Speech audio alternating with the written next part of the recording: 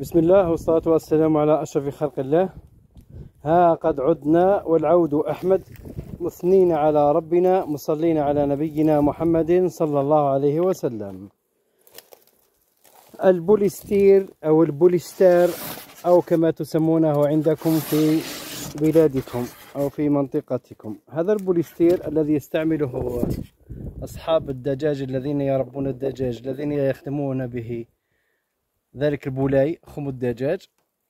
هذا البوليستير أو الذي يستعمله البناؤون لعزل حائطين لسكن. مثلا حائط brique حنقولوا ال brique وحائط brique عشرة عشرة سنتيمتر. هذا البوليستير يديروه بين الحيوط كعازل. هذا البوليستير الذي سيحمي النحل من حرارة الشمس وكذلك في الشتاء يعزل عنه البرد. أنت كنحال عندك منطقة ما فيها حرارة شديدة المستحسن تضع مثلا هكذا مثلا كشغل خيمة كالخيمة ديرها فوق الصنادق تكون مرتفعة نوعا ما مما تسبب له أو تضع له الظل.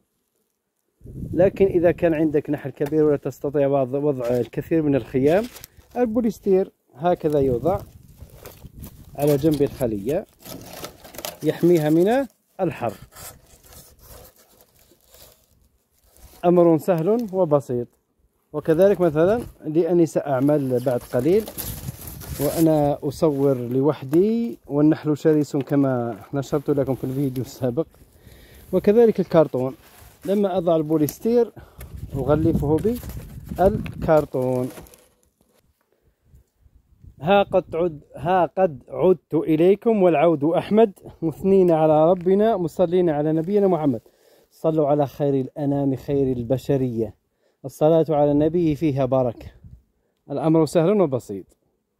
يعني بأشياء حد بسيطة جدا تستطيع وضع حماية للحرارة للنحل. حماية للنحل من الحرارة. انظروا إخواني هنا المسافة الذي التي تركتها بين الغطاء وبين البوليستير والكرتون. ما تقارب العشر سنتيمترات. هذا سيكون عازل إن شاء الله للنحل وسأكمل العملية مع باقي الصناديق. لا تنسوا الاشتراك في القناة وتفعيل الجرس ليصلكم كل جديد. والسلام عليكم ورحمة الله وبركاته.